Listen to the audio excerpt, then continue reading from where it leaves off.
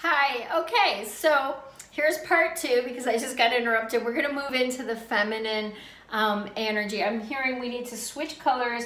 We're gonna amp up and juice up the energies of the left side body of the universal body so that we can explore how beautifully wonderful it is to have our left and right side bodies beautifully balanced. So if you just give me a great big exhale, we're gonna open up that left hip now and we're gonna release a whole bunch of energy in here.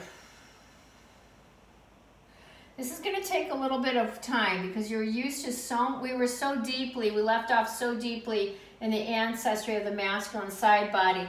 That I've been told is actually working its way through and it's time to start really juicing up the left side body, the feminine energy side body, so that we can find some balance. Otherwise, our bodies won't really let go of too much energy because if we think we're going to be or feel we're going to be a little bit off balance, we slow down and go, wait a minute, I can't release all of that until the left side body, until she's ready, right? To really come to the table and be balanced and have equality with me, equality of purpose, equality of of strength and stamina, equality of, of love, health and well-being, equality of I'm as important as you are. My comfort is as important as your comfort. So we're just clearing all these left side bodies of the universal side body that's showing up today for this video. You're going to receive these clearings and balancings by listening Imagine yourself spreading out nice and thin and wide. Maybe you're laying in a beautiful raft on an ocean that's the perfect temperature, or maybe you're just floating and you need to do lots of beautiful deep exhaling down at the pelvic floor. And a yes, yes, yes, yes, yes, yes. And let these energies go that we're releasing because we are here to help you move forward and evolve in a much more highly efficient way. And this is it, folks.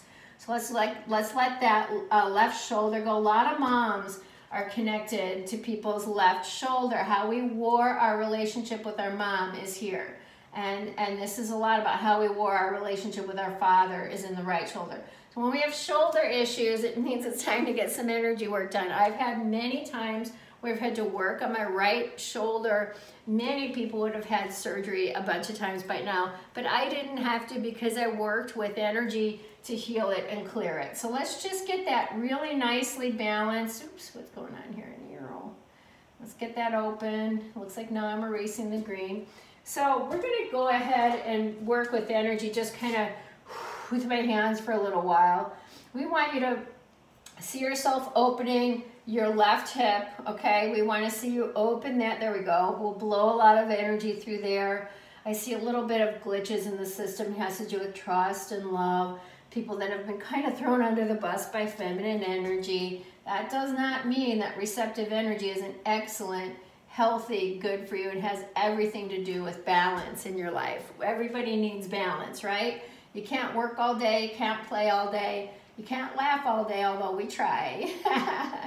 but we need to be really in good balance, knowing when to act, take action, push something forward and move, knowing when to sit back and relax a little bit, okay? Here we go.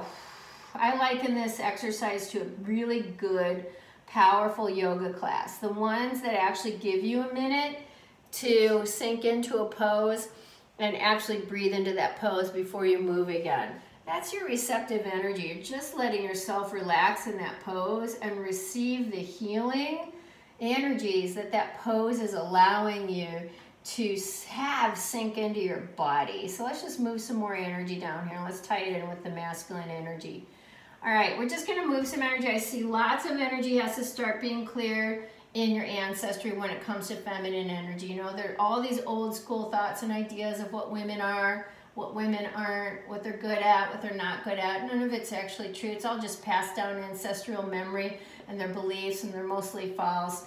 Women, feminine energy is really receptive energy. And women are made up of both receptive energy and push forward energy. Men are made up of both feminine energy, which is receptive, and masculine energy, which is push forward. when we can live out a reality of being both is when we are really balanced and we are really healthy. So let's just move some more energy through the ancestry. We just have to keep going until I see the angels and guides and the energies in the room here today that are showing up for you in this universal body. Wow, there's a lot in there. Okay, so we just need to keep going until I see that enough of it has released and we're able to just go downhill.